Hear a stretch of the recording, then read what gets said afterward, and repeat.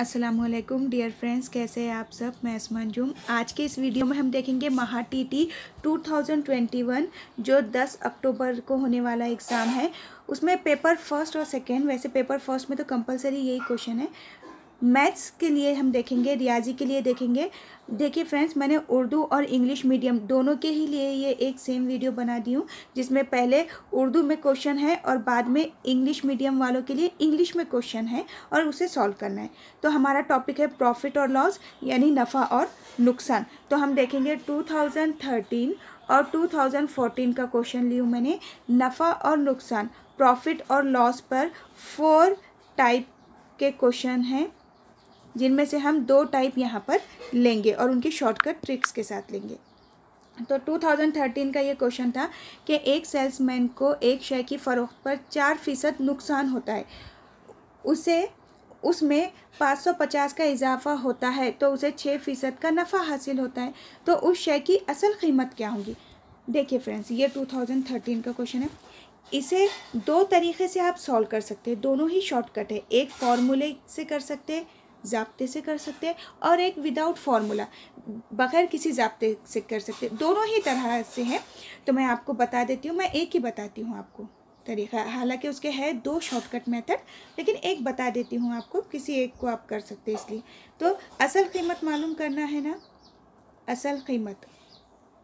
असल कीमत मसावी होती है, जो इजाफ़ा किया गया, जितना भी इजाफ़ा किया गया, जैसे कि यहाँ पे पाँच सौ पचास रुपये का इजाफ़ा किया गया, और नफ़ा, दोनों भी जो नफ़ा है, नुकसान जो नफ़े परसेंटेज में दिया हुआ है, देखिए नफ़े का परसेंटेज फ़ीसदी नफ़ा जमा फ़ीसदी नुकसान ज़रब सौ, बस इतना करना है हमको। अब देखिए, इजाफ़ा कितने का किया गया? पाँच सौ पचास का किया गया। अब नफ़ा, देखिए, पहले क्या दिया गया है? चार फ़ीसदी नुकसान तो चार जमा। उसके बाद कितना है? नफ़ा छः फ़ीसदी नफ़ा, यानी कि छः ज़रब सौ। अब ये हो जाएँगे पाँच सौ पचास बटे दस ज़रब सौ। ये ये सिफर कट गया। अब पचपन को सौ से ज़रब दीजिए फाइव फाइव ज़ीरो ज़ीरो यानी कि असल कीमत क्या थी उसकी?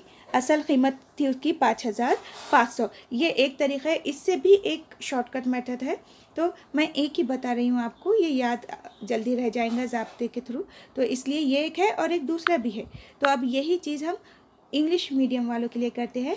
A loss of four percent on the sale of an item and increase of five fifty and a profit of six percent what will be the actual value of the item 2013 में पूछा गया था कि एक salesman है, उसने अपनी, उसने एक अपनी, एक आइटम को उसने क्या किया? बेच दिया। तो उसे हुआ फोर फोर परसेंट का, उसे क्या हुआ? लॉस हो गया।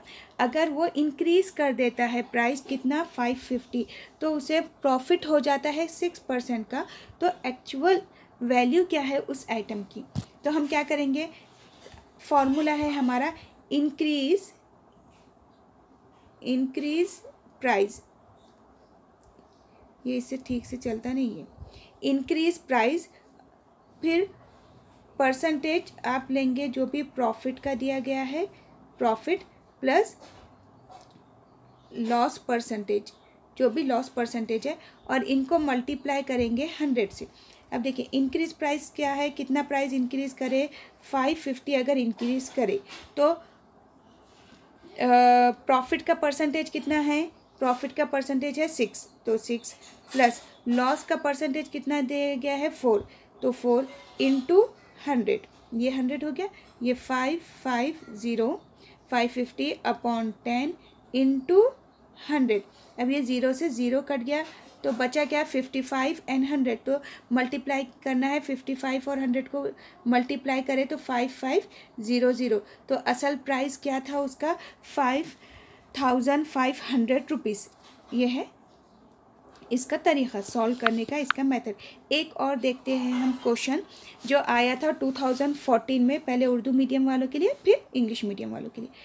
बारह अशिया की फ़रोख कीमत, पंद्रह अशिया के कीमत ख़रीद के मसावी है तो इस कारोबार में कितना नफ़ा या नुकसान हुआ? यानी कि बारह चीज़ें आपने फ़रोख्त करे तो वो पंद्रह चीज़ों की ख़रीद कीमत के मसावी है. तो इसमें आपको प्रॉफिट हुआ या नुकसान हुआ? और वो कितने फ़ीसदी हुआ, कितने परसेंट में हुआ? ये मालूम करना है। इतना सिंपल मेथड है इसको सॉल्व करने का। डायरेक्ट हम, इसके भी दो मेथड है, लेकिन हम एक ही देखेंगे इसमें। डायरेक्ट फार्मूले पे आ जाते हैं कि आपको नफ़ा कितना हुआ या नुकसान कितना हुआ। तो ऑप्शन में ना, इसके डायरेक्ट ऐसे लिख कर नहीं है कि इतना नफ़ा, इतना नुकसान, सिर्फ़ परसेंटेज में दिया गया है। टू थाउज़ेंड फोर्टीन का पेपर आप निकाल के देखिए।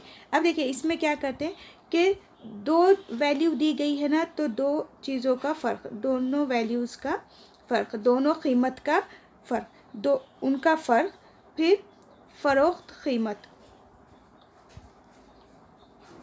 फ़रोख्त कीमत ज़रब सौ। देखिए, अब फ़र्क किसका? बारह और पंद्रह, यानी कि फिफ्टीन माइनस ट्वेल्व पंद्रह, मनफी बारह। और कीमत ख़रीद क्या है? देखिए, उन्होंने बोले, बारह अशिया की फ़रोख्त कीमत। हमें कीमत ख़रीदनी, फ़रोख्त होना तो बारह अशिया की फ़रोख्त कीमत। तो कितने? बारह की। तो बारह, ज़रब सौ। बस इतना करना है। अब ये फिफ्टीन माइनस ट्वेल्व पंद्रह में से बारह निकाले तो बचे तीन, बटे बारह, ज़रब सौ। बस इतना ही करना है। तीन एकन, तीन तीन चौक, बारह। और हमें पता है कि एक बटे चार का मतलब क्या होता? एक बटे चार का मतलब होता है पच्चीस ट्वेंटी फाइव पच्चीस। और यहाँ पे ज़रब सौ है, यानी कि परसेंटेज पच्चीस ट्वेंटी फाइव परसेंट पच्चीस परसेंट आपको पता है ना कि मैं यहाँ लिखती हूँ फ्रेंड्स कि वन बाय टू परसेंट यानी कि कितना? Fifty percent. ये तो कुछ कुछ चीज़ें याद रख लेना। वन बाय फोर परसेंट यानी कि कितना? Twenty five percent. ये याद रख के रख लेना। और पूरा वन परसेंट यानी कि क्या? Hundred percent. ये इतनी तीन चीज़ें याद रख लेना। तो वन बाय फोर, ये आप इसको डिवाइड करके देखिए।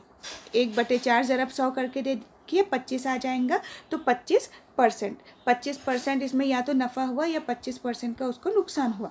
तो ये था इसका तरीक़ा सॉल्व करने का यही चीज़ को हम इंग्लिश में करते हैं। इंग्लिश मीडियम वालों के लिए करेंगे। अब इसको हम अरे स्लाइड आगे नहीं जा रही।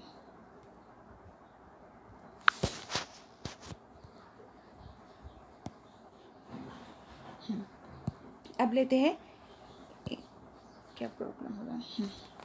If the sale price of 12 item is equal to the purchase price of 15 items how much profit or loss will there be in this business in 2014 का क्वेश्चन था तो देखिए फ्रेंड्स हम कैसे करते हैं यहाँ पे दिया गया है कि सेल प्राइस दिया गया है और वो किसके इक्वल है कि जितना प्रॉ जितना परचेस किए थे उनने कुछ आइटम को, उसके इक्वल अगर ऐसा बताता तो ये एक क्वेश्चन इस टाइप का आता तो हमें क्या देखना है? हमें देखना है डिफरेंस जो भी वैल्यूज़ दी गई है, उनका डिफरेंस लेना है और सेल प्राइस सेल प्राइस हमें यहाँ पे सेल प्राइस से डिवाइड करना है और इंटू हंड्रेड कर देना है। डिफरेंस कितना दिया गया है? फिफ्टीन माइनस ट्वेल्व यानी कि फिफ्टीन आइटम और यहाँ पे ट्वेल्व आइटम की बात है। Fifteen minus twelve. Sale price क्या है? कितने, सेल प्राइस कितने आइटम पे है यहाँ पे ट्वेल्व? तो twelve into hundred. Fifteen minus twelve three upon three upon twelve into hundred. अब थ्री वन ज़ा थ्री थ्री फोर ज़ा ट्वेल्व यानी कि one by four into hundred. अब वन बाय फोर परसेंट यानी कि क्या? One by four twenty five percent. और ये कैसे आया? देखिए, हंड्रेड बाय फोर। आप जब डिवाइड करेंगे तो फोर वन ज़ा फोर फोर टू ज़ा एट। फोर टू ज़ा एट, टू बचे टू बचे तो फोर फाइव ज़ा ट्वेंटी। तो ये हो गया ट्वेंटी फाइव परसेंट। या आप और भी याद रख सकते हैं कि वन बाय टू यानी कि fifty percent, one by four यानी कि ट्वेंटी फाइव परसेंट तो ये भी एक याद करके रख लेना आप। तो ये थी इन लोगों के आ, करने का तरीक़ा जो एग्ज़ाम में रिपीट होते हैं ये क्वेश्चन प्रॉफिट और लॉस नफ़ा और नुकसान के और दो क्वेश्चन है इस टाइप के जो होते हैं रिपीट। तो फ्रेंड्स मैंने एक एक ही तरीका बताई हूँ उसमें से शॉर्टकट का। अगर आपको ये वीडियो पसंद आया है तो प्लीज़ इसे ज़्यादा से ज़्यादा लाइक भी कीजिए शेयर भी कीजिए सब्सक्राइब भी कीजिए। और इंपॉर्टेंट चीज़ कि महा टी की अभी टू टेन अक्टूबर के एग्ज़ाम के लिए महा टी की जो बैच चल रही है असर इंस्टीट्यूट से, आप उसमें एडमिशन ले सकते हैं। पेपर फ़र्स्ट के लिए ऑल सब्जेक्ट आपको कराए जाएँगे।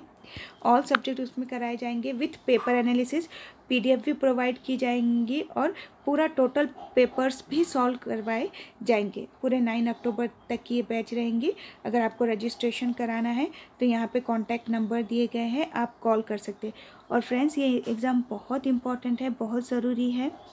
इसके लिए आप ज़्यादा से ज़्यादा शेयर कीजिए अपने फ्रेंड्स को। टेक केयर अल्लाह हाफिज़।